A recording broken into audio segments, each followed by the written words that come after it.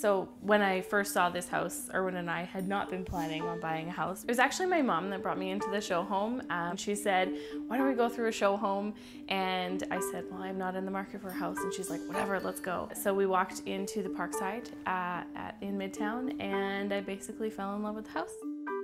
Everyone is always like, you live next to your sister? And we're like, yeah, but it's like the devil you know.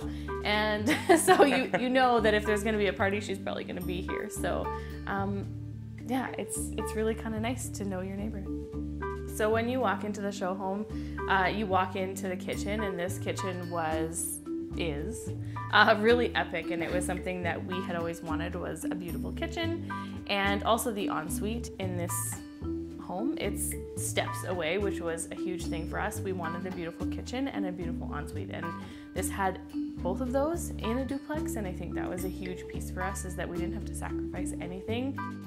When we walked into the show home, I think um, the area manager there, Carmen, was one of the first people that we met, and she truly made the experience for us. I think that was half of it. And then also just the quality of the build during like the show home, you could tell it was a quality build.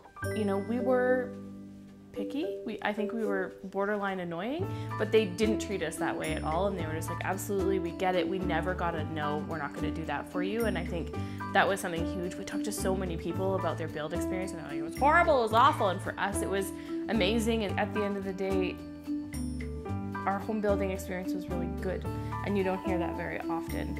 It was really nice to see that somebody's there not just to sell you a house, but to see it through all the way to the end.